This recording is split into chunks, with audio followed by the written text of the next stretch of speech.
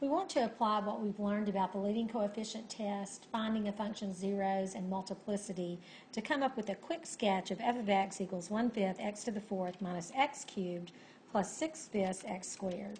So let's find the zeros by setting our equation equal to 0. The first thing that we always look for is there anything uh, factor that each term has in common and I think that what they all have in common on this particular function is 1 fifth x squared.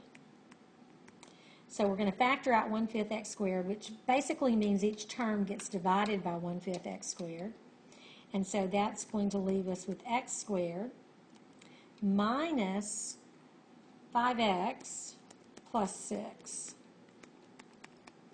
And then we can further factor x squared minus 5x plus 6 into x minus 2 times x minus 3 equals 0.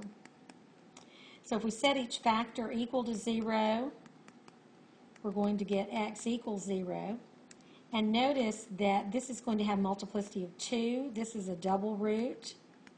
And what we know about double roots is uh, when your function approaches the double root, it's not going to go through the 0, it's going to rebound off. Then we also have a 0 at x equals 2 that has multiplicity 1, which means it's going to go straight through. And x minus 3 equals 0 is going to give us uh, a 0 at 3. So if we go to sketch our graph, we know that we have a double root at 0. We have a, a single root at 2 and a single root at 3. Uh, notice that the degree of this polynomial is 4. So if the degree is equal to 4, and our leading coefficient is positive, the end behavior of our graph is going to be up, up.